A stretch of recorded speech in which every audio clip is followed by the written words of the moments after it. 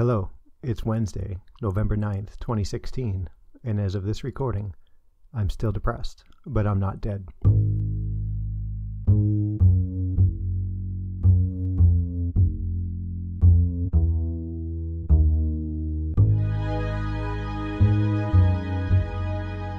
Well, looky there. I let another two weeks slide by before putting a podcast out. Uh, I apologize. I think I have good excuse this time. Not that I guess my other excuses and reasons were invalid or not good.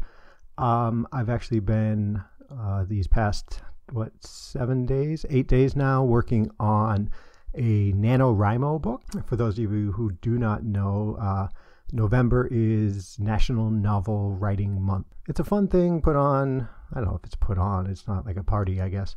But uh, every every November, you sign up at nanowrimo.org, I believe. I'll make sure I put that in the show notes. Uh, and you kind of challenge yourself to write a novel completely and only within the month of November. And uh, their definition of a novel is 50,000 words. So that works out to be about 1,600, between 1,600 and 1,700 words per day if you would like to keep on a tight schedule. So I'm, I'm giving it a whirl. I uh, tried this a while back, uh, and I had a story idea.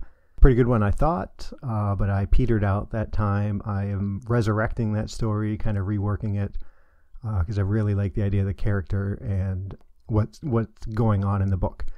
So uh, yeah, I'll tell you guys more about that later on. I'd really like to get better than halfway through the the book before I start putting things out there. Uh, so yeah, uh, that's been going on. A couple other things been going on. I've got uh, just some ideas popped in my head here. Uh, Nora is downstairs with the girl, and they are uh, kind of watching election results as I'm recording this uh, Tuesday, November 8th. so I just wanted to take this time to kind of get a hopefully get record a podcast and maybe edit it some tonight and get it done in the morning send it out to you guys. So i apologize if i'm a little more rambling than usual. Uh, hopefully i can pull it together and uh, make some kind of sense in the end. So um, oh real quick uh, remember you can get a hold of me uh, jamoalki all over the internet. That's jamoalki at gmail facebook.com slash jamoalki twitter at jamoalki uh, I've still got that text line, kind of phone line. Uh, what is it? 248 648 1419. Go ahead and jingle that one up and leave me a voicemail if you like, or just send me a text message. Uh, I've gone back and forth with a couple folks, and it's, it's kind of fun. Uh, so thank you guys for that. Um, what else do I have? Oh, yeah, the webpage, uh, jamoalki.info. That's J A M O A L K I. So I guess that's it. Uh, we'll get right into the show.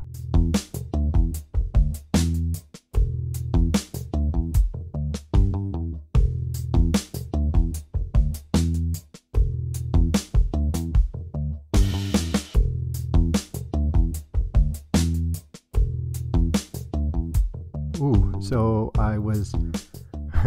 I when I record, I do the uh, the in, the intro, and then I do a gap so I can put the music in, and then I do that, you know, that little uh, little tidbit in front, and then a gap, and then I start in on the show here like I am now. And during that short little gap between uh, the uh, the snippet there, uh, you know, when I say, "Hey, let's get into it," I realized how fast I was talking uh, during that opening part. Uh, I think maybe I'm a little anxious to get this. I'll put down so I can I can have this recorded and edit it and get it put out. So yeah, so here I am. Uh, you know, eight days into NaNoWriMo.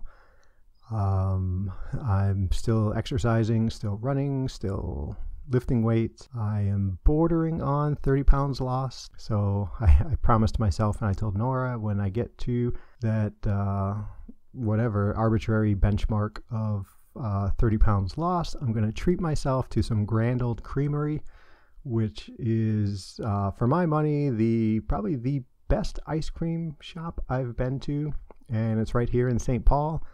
Uh, it was visited by Barack Obama on one of his trips to Minnesota. There's pictures of him there. So, you know, if our first black president enjoys it, uh, I ought to be able to enjoy it as well. Uh, so hopefully within the next week, I'll cross that threshold and be uh, snacking on some ice cream pretty soon. So I mentioned I have just uh, just some ideas that have popped in my head this past week, and I don't I don't really know that I'm going anywhere with them, but I, I just kind of want to get them out and maybe get some feedback from you guys. Uh, just you know, random ideas and stuff. Um, first thing is is I've met a new friend. We'll call him a friend. We haven't really talked that much, but why not? We can be friends. And it actually it's been something I've been thinking about for a while. How you know I haven't really run into any people of color on this journey of mental illness. And I started noticing this a couple weeks ago, and I guess shame on me for not noticing it sooner. Um, but I, I don't know. But this gentleman that I met is he's a, a black man, um, and he has you know dealing with some mental illnesses. Uh, he just is a phenomenally nice guy, and I really enjoyed kind of talking and listening to you know his story as he you know feels comfortable sharing it. And but you know that's not the point to say, hey, I have a black friend now. um, what something he had said, which I guess maybe didn't surprise me, but it it, it surprised me. Uh, he was, it was talking about how really in the black community you know, black men, black women aren't supposed to have mental illness. He specifically said that uh, a lot of people he knows, uh, or I guess he said the black community in general, will say, "Oh, that's a that's white people problems. We we don't get that."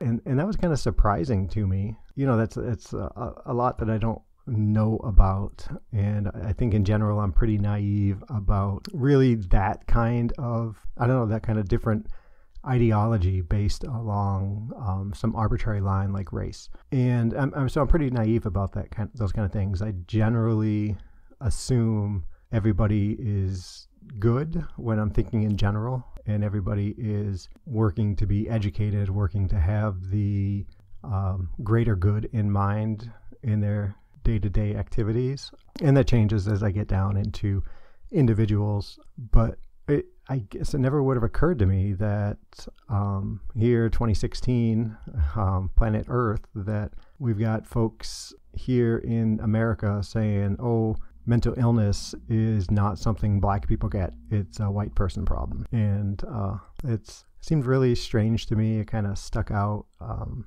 I don't really know. Like I said, I don't know what to do with that. I don't know that it there's there's something in there, right? There's meat in that, and I think there's an opportunity there to do some more educating.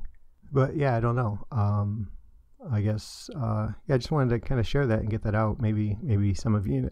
I guess honestly, I I don't know. I don't have any idea in demographics of who's listening to the show. You know, regardless of that, if if if you kind of encounter this, if you have some ideas or thoughts on this, I would love to hear back from you it's something I guess now is on my radar, and uh, I, I, guess I'll be, you know, it's funny how that works. Sometimes, uh, you know, you're oblivious to something, and then, um, like say, uh, you know, poodles are have curly hair. Like you're oblivious to that, and someone opens your eyes, and says, "Hey, poodles have curly hair." And then like all of a sudden it's it's everywhere right? You're seeing commercials with poodles with curly hair. You're hearing radio advertisements saying hey poodles have curly hair. So i guess you know it, eh, now that this is on my radar um, i guess i admittedly i have seen a little bit more in kind of my web searches and what i'm what i'm doing online but yeah, it's it's interesting to me. Uh, not interesting in a fun way. Interesting in a wow, this is this is wild kind of way. There's to that. Uh, I am grateful that I've uh, made a new friend, and uh, hopefully, we, you know, we can kind of share our stories with each other and uh, make some progress here on our journeys.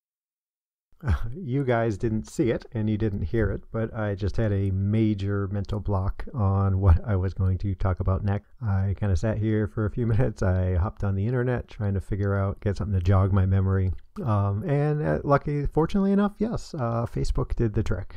Um, I, I want to talk about a little bit about how I've been feeling lately, um, what I think is going on the kind of worry and maybe even anxiety that is coming along with what I'm feeling, and just generally just kind of moan and groan and complain about, um, you know, maybe what was me kind of stuff. Uh, I I will admit that I think I'm feeling a little bit better, um, maybe more than a little bit better, not not not greatly better, not all better, but I think that I'm certainly feeling more energy.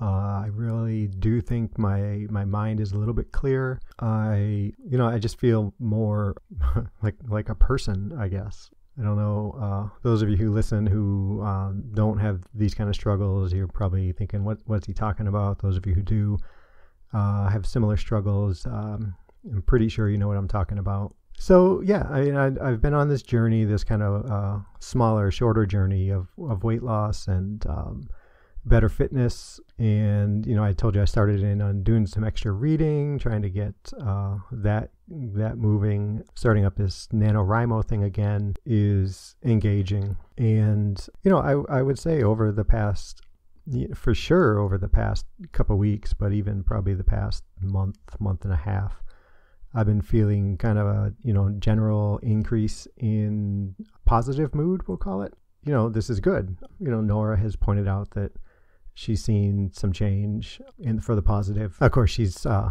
she's uh, biased a little bit as I'm I'm losing weight and turning back into the uh, hunka hunka love that she fell in love with. Uh, but uh, yeah, so I mean, she's noticed.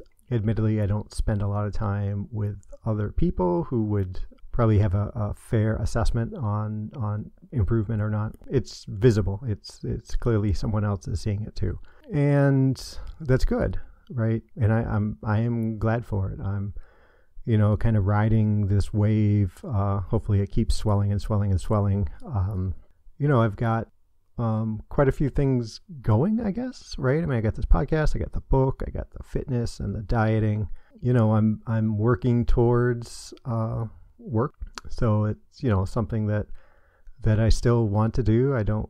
It's not realistic that I'm going to uh, you know take the world by storm uh, in this next year, but uh, you know, I've started started looking at that a little bit, and you know, with all this going on, uh, all this kind of good stuff, positive stuff, you know, I was thinking about what, where I'm at, where I've been, um, where I've come from in the past, you know, what are we at, 22 months now since my suicide attempt. And so, you know, with that is, you know, I, I see clearly how much stronger and better, I guess, um, uh, better. I don't like the word better because it makes me sound makes it sound like uh, those who are struggling more at any certain time are worse or better, better. But uh, you know, better, stronger. Um, clearly, you know, not even close to where I was when I first came to Minnesota.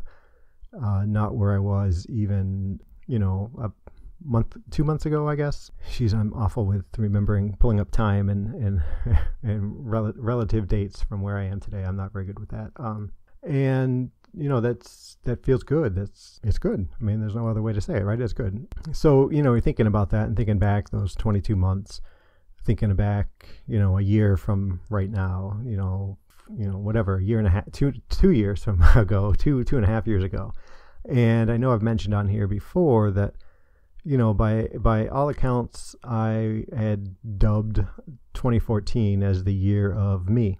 That I, you know, I went through quite a bit, uh, and most of it was good. And you know, I that's when I lost 50 pounds, and I trained to run a half marathon, and I, you know, found kind of the strength, the energy, the confidence to kind of step back up at work and, and go for a promotion and I did all that, and it, it, was great. I, you know, I was getting to know Nora and falling in love with Nora and all these wonderful things. And then it all went to hell, right? I mean, I, I went from being on top of the world to being as really as as low as you know me my person could get in just a matter of months uh, and so I, I think I have some I have some trepidation. I have some worry, concern, maybe even I'm anxious about it that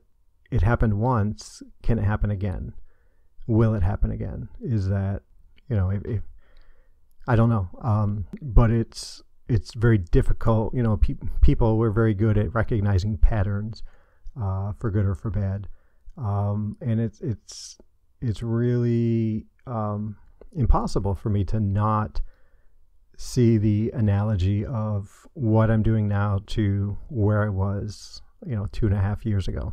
And I'm not. I don't want to come off and sound like that I'm, you know, uh, defeated or that I'm, um, you know, resolved. I don't know what I want to say. That uh, you know, I, I don't believe that I'm doomed to follow the same path, and I don't, and I don't believe that thinking about it is going to, you know, jinx it or kind of steer me in that direction.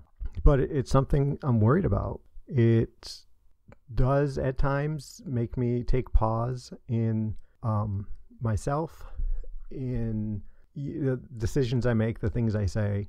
And I, I know that it's on my mind at times when talking about myself and when Nora and I are talking about the future, with what's going on next week, next month, um, how are you feeling? How's it going with therapy? Um, all those things. And, you know, there is a part of me that's really concerned that it could happen again. And, you know, there were different things going on than right now, right? Um, I, you know, I was falling in love with Nora and really wanting to be with Nora and really wanting to be with my girls. And it well early on it was it was fine right? Because it's kind of all that excitement and you know it's it's uh, hey i'm falling in love and she's wonderful and hey girls i'm going to see nora. You remember nora? And yeah it's great exciting. But it gets it got to a point where you know the inevitable inevitable was staring me right in the face um, even coming charging at me that i was going to have to make a decision that i couldn't you know, it, for the relationship with Nora, it, it wasn't fair for it to remain the way it was. Me in Michigan, her here, me living with my, you know, my my wife, you know, legally my wife at the time. Um, so you know that I was going to have to make a decision there, and the decision that was going to be made there would take me away from my girls, and I there was just no way in my head that I could comprehend that that would work. Um, you know, there were some some talks uh, with Nora, and you know, at one point we were she was actually looking for jobs in you know central Michigan area, um, which just blew me away that she would kind of even consider that.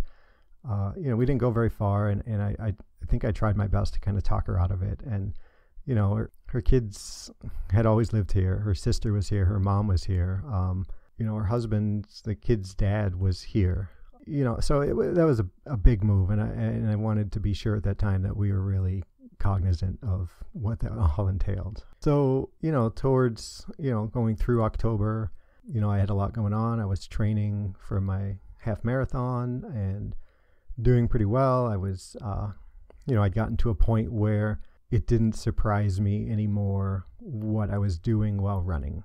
And, uh, you know, as a confident runner, I really believed that I had it, you know, I had a good, good handle on, you know, what it would take to run the half marathon. And I remember, uh, uh, you know, a, a couple times it, the idea of a full marathon kind of danced through my head, but I, I, I wasn't, but I wasn't that confident of a runner, we'll say and then so we get to the thing that you know Facebook just reminded me of that it was two years ago today, November eighth, that I ran that half marathon, and you know I think back, I, and I've done this quite a few times with my attempts to get back into running now. You know, I, I was so I was so ready for that half marathon. I was I was, you know, I, I, never considered myself a phenomenal runner, and, and I, you know, I don't think anybody would ever accuse me of that. But when I look at where I am right now, yeah, I was, you know, I was, I was quite a pretty good runner. And, you know, hopefully I get back to that. But anyway, so, you know, I ran the half marathon. Nora came out for that. Uh, my friend Dave came, uh, my mom and dad, and my girls, and, you know, and I got it done. And that was, I think I, I mentioned before that I, I, I never felt any, you know, I, I never felt that kind of good feeling that I should have gotten, I suppose, from you know such an accomplishment. But the the thing that was bigger than that was that I found myself that next day not sure what to do with that running time, right? I mean, I I still did, you know, I still ran four miles, five miles, things like that, but I didn't transition into using, or I guess using that time or, or identifying the next goal. And, you know, it wasn't very long before I found myself just kind of, I don't impotent is the word that comes to, to mind. Um, but really, I felt like I just didn't, really, I felt like I didn't have a goal. Um, you know, I was facing what seemed like an awful decision that would have to be made um, in my relationships. You know, um, looking back on it, uh, I, I, probably wasn't ready to go for that promotion. Uh, and part of thinking back on that is is kind of what's got my head kind of going around about what if maybe I do have some kind of anxiety or if it's just my borderline personality disorder that you know the the things I was seeing and and not seeing but I wasn't knowing what was going on. And you know, for example, you know, I was really well thought of at work in this the Home Depot store I was working at, and you know, I I picked up on I pick up on things fast, and I, I you know I have a pretty good working knowledge of of retail and what needs to go on, and you know, but part of being you know having a job is you've got supervisors, you've got bosses who come around ask questions, want to know how things are going. And anytime, you know, anybody asked me how things were going, I felt um, really insecure. I felt like they knew something was wrong and they were testing me to see if I knew what was wrong. I was always worried that they were going to ask me the one question that I didn't have an answer at the ready for. Um, and I just felt, I just always felt kind of on edge when it came to that, and and kind of those questionings too weren't weren't necessarily from my from my bosses, uh, you know, my my peers, even um, you know the people who who worked for me. If you know when they had questions, I always felt like I was on the spot and that my answer wouldn't be good enough and that I would just you know flame out miserably. So those things were going on even up two up towards the the the race. Um, but after the race, they were, you know, clearly a lot more. Um, oh, I don't know. Um, you know, they they were more frequent, uh, stronger, uh, more intense. I don't know. So th- you know, then I found myself, you know, just kind of getting lower and lower, and you know, I, I'm pretty sure I've told the story. You know, woke up one morning, you know, had my first suicidal thought, went into work. Uh, Home Depot's fabulous. I got, you know, a short term leave, um, FMLA. Uh, they're real supportive. And, you know, five weeks from then, you know, I was sitting in my car trying to uh, overdose. Um, and um, so, you know, yeah, that's not what's going on in my life right now you know, I have a, you know, I've, well, I haven't completely come to terms with being away from my girls. I think we're we're all working hard to make that work, and for me to be the dad that, or the the best dad that I can be, given the circumstances of um, geography. And you know, there's not that. You know, Nora is fantastic. We you know, it feels like we just get closer and closer as time goes on. And, you know, when I think that things are just great and she's the most wonderful person in the world, we have a conversation and she's even more wonderful and our relationship feels even better. So I don't, you know, that that kind of stressor is not here. So I, I you know, I recognize I'm not in the same spot, but the the the correlations, the similarities are are kind of beat me in the head. And I'll be honest, um, even this this book I'm writing is it's kind of equating itself with the the race, and I'm a little bit worried come December first what what that's going to look like when I'm not heading to the library for two hours, two and a half hours to work on you know this this book this these characters that I have in my head.